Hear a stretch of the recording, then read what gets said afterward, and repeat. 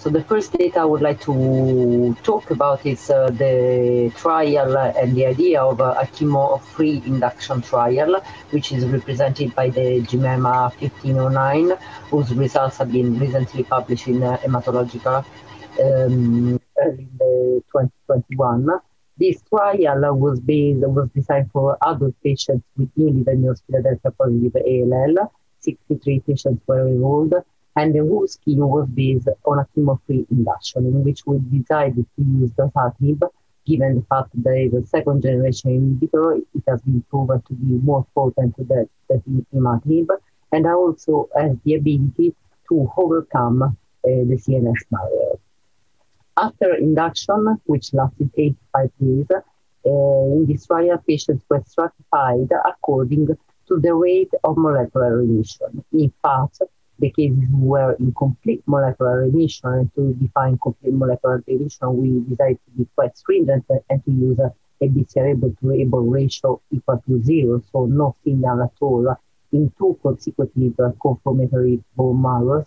If patients were in CMR, um, received just dasatinib as maintenance and did not receive any further treatment. A variant, the cases with were in complete hematologic remission but not in complete molecular remission uh, went further with treatment, received um, a, chemo, a, chemotherapy, a consolidation chemotherapy, or if they had a promptly available donor, they, were, they went directly on transplantation. Uh, the results overall showed that, as uh, in line with all our previous general trials, that the chemo-free induction um, uh, results in very um, optimal uh, remission rates, hematologic remission rates in the range of 95. There were no no death induction, and uh, we also proved that by doing this approach, 19% of patients could achieve a molecular remission in general, the five-year overall survival and disease-free survival are pretty favorable, being in the range of 50% each respectively. And we also could prove in this trial, uh, proof of principle, that the rate, um, that the, the, the, achievement of complete molecular remission is one of the most important prognostic factors. In fact, although the numbers were small to uh, achieve a, a, statistical power, we could prove that patients who were in complete molecular remission had um, a disease-free survival and overall survival rate of 70%, which is a uh, pretty good results. In this trial, uh, patients were uh, received transplantation, and we also proved that transplantation was not associated with better outcomes. So the GIMEMA 1509 was important for us, first of all, because it's, uh, it, it, it, again uh, pinpoints on the fact that a chemo-free induction strategy is feasible and also effectively because we have a complete hematologic remission in all cases and no death induction.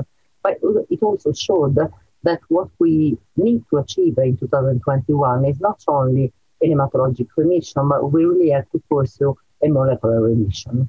And therefore, we uh, eventually designed the um, more recent trial called the GIMEMA LAL 2116, also named the ALBA, in which we applied the same uh, induction strategy, strategy followed by a chemo-free consolidation strategy.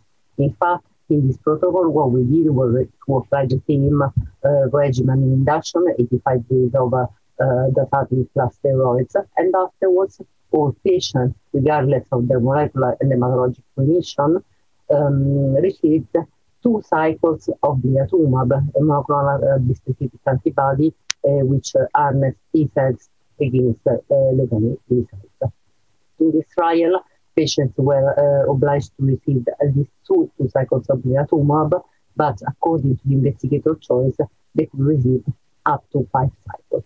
And after the treatment, after the consolidation treatment, subsequent follow-up was left, uh, subsequent treatment was left at the investigator choice. It is important to remark that in these trials, also in light of the fact that uh, the patient uh, received a completely chemo-free approach, CNS prophylaxis was carried out throughout the course of the, of the, of the treatment. The, the, the results of the, the ALBA trial have been published uh, last October in the New England Journal of Medicine by Dr. Foà. And what we showed in the preliminary results is that uh, results were quite uh, amazing. Overall survival 95% and disease-free survival 88%. In uh, the last year, we reported the updated results of uh, the trial with a full median follow-up, which is approaching almost three years. And basically, the main uh, messages that we could uh, obtain from this update is that we can confirm the uh, reliability of the results. Overall survival, estimated overall survival at 36 months is 80%, and disease-free survival is 71%. We also could confirm two important aspects that are more uh, let's say, uh, related to uh, translational research. First of all, patients were stratified according to the deepness of molecular response. So we had uh, from one side patients who were either in complete molecular remission or uh, the so-called positive non-quantifiable. And in the other side, we had patients who did not achieve a complete molecular remission. Even in the longer follow-up, patients who were either uh, complete molecular responders or positive non-quantifiable did not have, have events whatsoever, and disease-free survival is still 100%, whereas some events, although in a, uh, let's say, favorable uh, fashion, uh, were recorded in a uh, non-complete molecular responder, where the disease-free survival is, however, 72%. The other aspect, which is very important to us, is represented by the importance of um, the genetic characterization of Philadelphia positive ALL patients. So nowadays, uh, uh, we think there is not sufficient to define a patient as being Philadelphia positive, but also additional genetic lesions should be looked after.